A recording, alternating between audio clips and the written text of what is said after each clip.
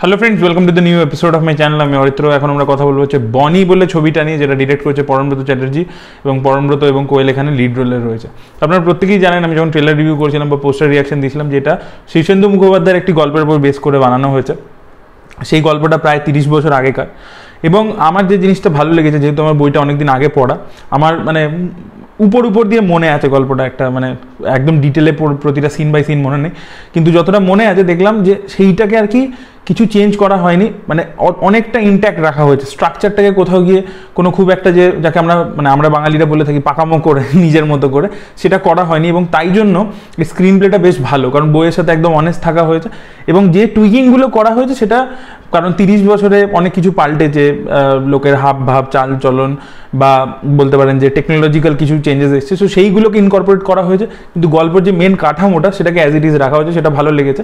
এবং এই কারণে এই ছবিটা খুব সুন্দরভাবে ফুটে আসছে। এখানে সায়েন্স ফিকশনের এলিমেন্টস তো ডেফিনেটলি রয়েছে।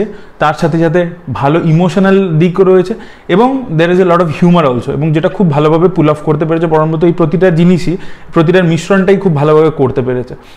আগেন ক্রেডিট দেবো হচ্ছে রাইটিংকে পরমব্রত নিজেও এক- একজন রাইটার এবং আরও একজন কো রাইটার রয়েছে। তো এদের দুজনের কাজ খুবই ভালো লেগেছে এই ছবিতে। মানে রাইটিংটা খুব ভালো হয়েছে। এছাড়া যদি অভিনয়ের কথা বলি, আমি এক নম্বরে রাখব হচ্ছে কোয়েল মল্লিককে। কোয়েল মল্লিক দুর্দান্ত পারফরমেন্স একটা দিয়েছে এই ছবিতে। খুবই ভালো অভিনয় করেছে। কিছু কিছু সিন আছে পার্টিকুলারলি কোয়েল মল্লিককে দারুণ লাগে, অসাধারণ লাগে। পরমব্রতর যে রোলটা নিয়েছে, সেটা আমার মনে হয় পরমব্রতকেই বেশি ভালো মানাতো।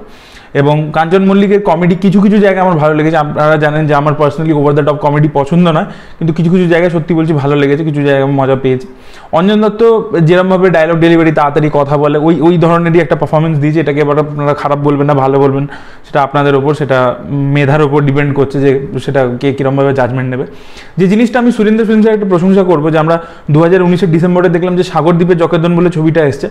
সেটাতেও কিন্তু একটা খুব সুন্দর ব্যালেন্সড ওয়েতে তারা যতটা একটা বাংলা সিনেমার বাজেটের কিছু রেস্ট্রিকশন আছে আমরা জানি, সেইটাকে মাথায় রেখে সেই অনুযায়ী, সেই স্ট্যান্ডার্ডে যতটা ম্যাক্সিমাম অ্যাচিভ করা যেতে পারে সেইটা অ্যাচিভ করতে পেরেছিল। মানে ইন টার্মস অফ গ্রাফিক্স আমি বলছি।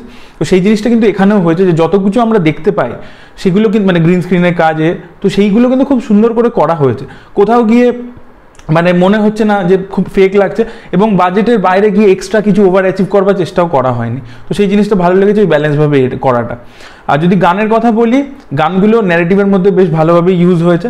তো সেগুলো মানে ঠিকঠাক আর কি। মানে খুব বলব না যে এক্সট্রাঅর্ডিনারি খুব মনে থেকে যাবে তা নয় বাট ঠিকঠাক।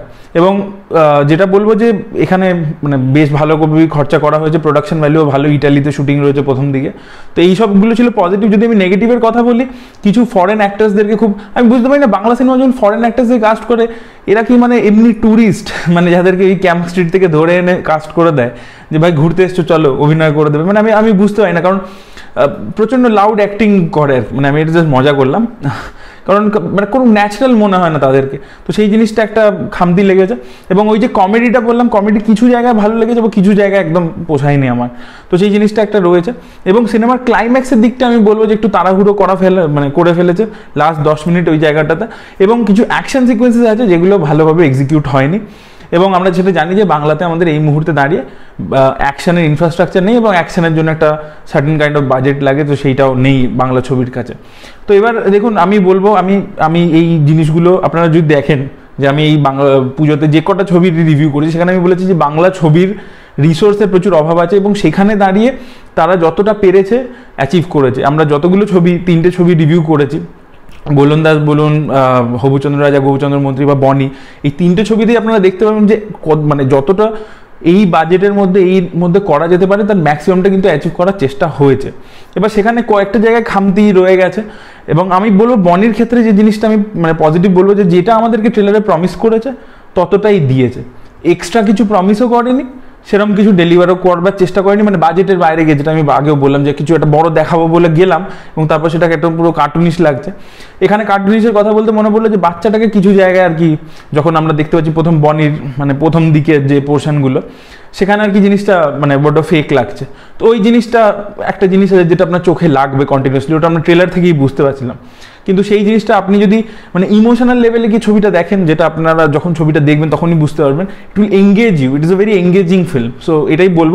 আপনারা যারা দেখেছেন কমেন্ট করে ডেফিনেটলি জানান। এই ভিডিওটা ভালো লেগে থাকলে লাইক করুন শেয়ার করুন চ্যানেলকে সাবস্ক্রাইব করতে ভুলবেন না। Bye bye